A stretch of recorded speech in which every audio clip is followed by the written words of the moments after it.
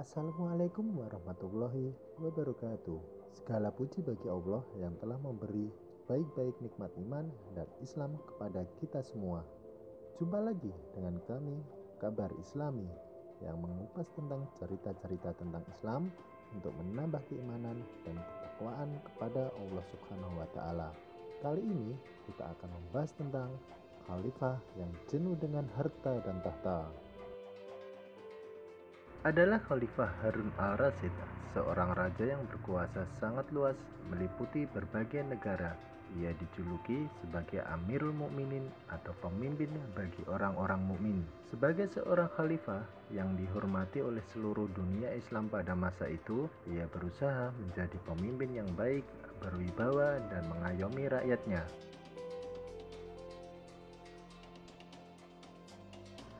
Kemajuan demi kemajuan terus diraih oleh negaranya yang dipimpin, sehingga masa keemasan dari Daulah Abbasiyah yang dipimpinnya segera terwujud. Kemajuan dari berbagai bidang ilmu, pembangunan fisik dan mental, sarana jalan dan gedung-gedung bertingkat tumbuh dengan subur di tepi jalan-jalan protokol. Kemajuan kota Baghdad yang menjadi ibu kota Daulah Abbasiyah itu termasyur ke berbagai negara sehingga menimbulkan kekaguman yang luar biasa. Meski demikian, sebagai seorang manusia biasa apalagi seorang muslim, Harun al-Rasyid sering melakukan perenungan tentang hakikat kehidupan. Ia sering merasa kejenuhan dengan kekuasaan dan penghormatan terhadap dirinya. Pada suatu malam, Khalifah memanggil pejabat kesayangannya bernama Fadil al-Barmasir. Ia berkata padanya, bawalah aku pada seorang yang bisa menjelaskan siapa diriku yang sebenarnya.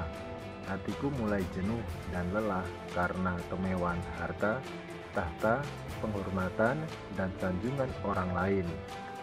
Al-Barmasid membawa khalifah ke rumah seorang ulama sufi bernama Sufyan al-Uyainah. Dalam rombongan tamu penting itu, sampai ke rumah yang dituju, Sufyan merasa terkejut ia berkata, "Mengapa Amirul Mukminin bersusah payah datang kemari, padahal bila perlu tinggal memanggil saya datang ke istana, saya pun akan datang." Bukan tipe ulama seperti itu yang kami cari, jawab Amirul Mukminin.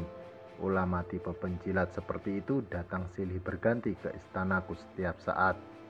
Selanjutnya, Sofyan Al-Uyainah mengatakan, "Kalau begitu, maksudmu pergilah ke tempat Fudail bin Iyad.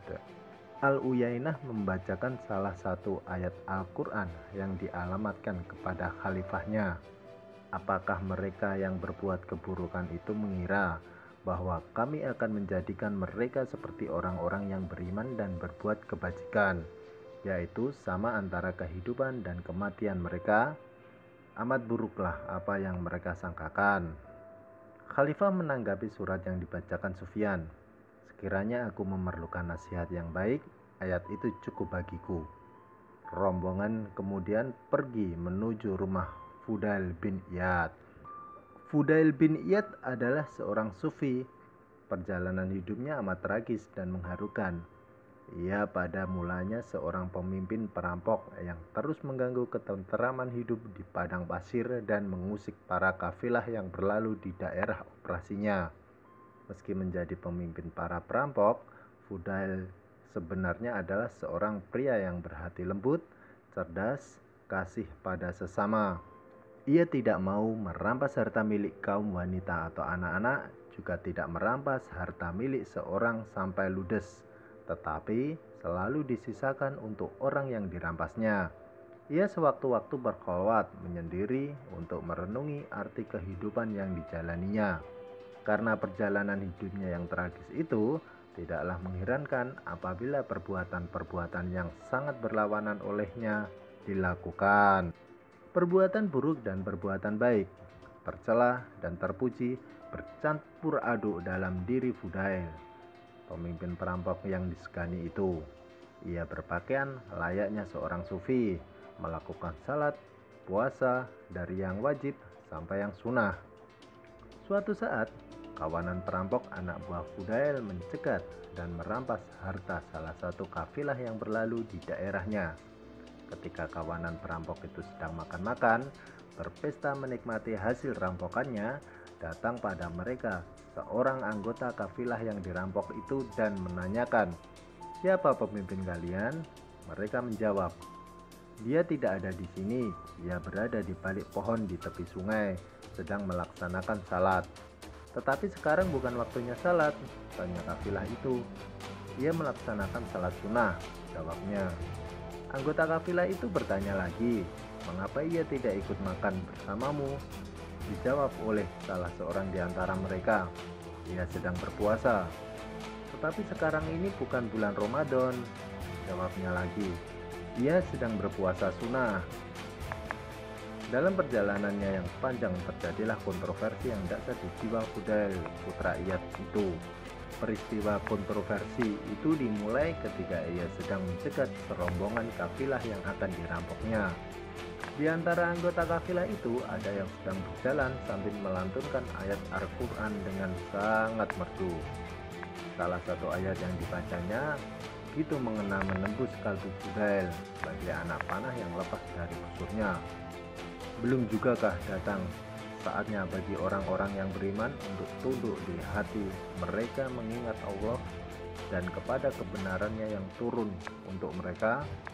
Quran Surat Al-Hadid 5716 Budal kemudian bertobat dari segala dosa dan kesalahannya serta meninggalkan kehidupannya yang sangat kelabu dan kusam itu. Ia berkelana selama bertahun-tahun, berpindah dari satu daerah ke daerah yang lain, mencari orang-orang yang pernah dirampoknya untuk meminta maaf atas segala kesalahannya dan memohon keridoannya. Ia menjalani kehidupan seperti ini dengan pengorbanan yang berat dan kesengsaraan yang tak terperikan dalam rangka membersihkan dirinya dari noda dan dosa. Pemimpin perampok yang bertobat itu juga meningkatkan segala amal ibadahnya, mempertajam kalbunya, sehingga menjadi seorang sufi al-alamah yang sangat terkenal pada masanya.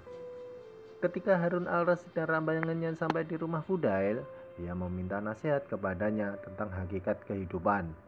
Fudail memberikan nasihat yang sangat mendalam dan mengharukan, membuat mereka yang hadir berlinang air mata.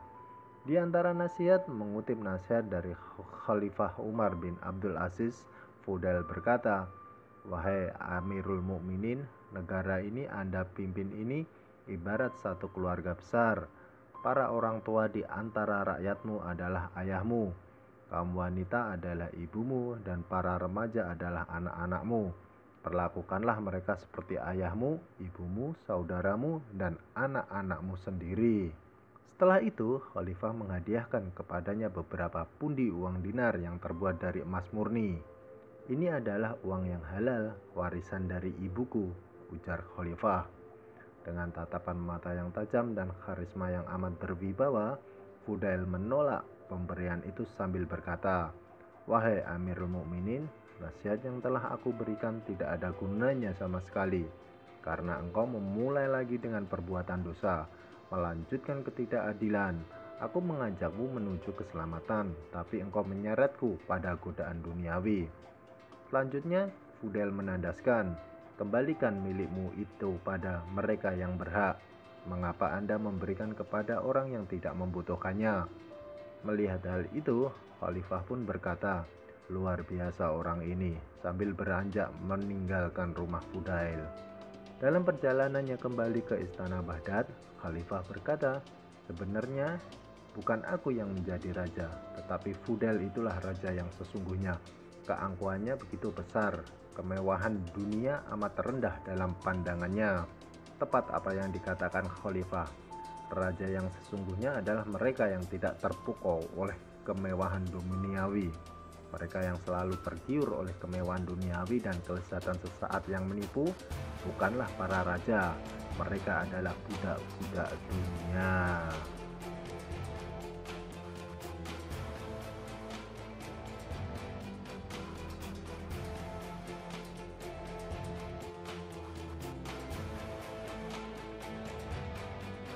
Inilah sekelumit kisah tentang Khalifah Harun al-Rasyid semoga kisah ini mampu menjadi penyemangat kita untuk lebih mendekatkan diri pada Allah Subhanahu wa.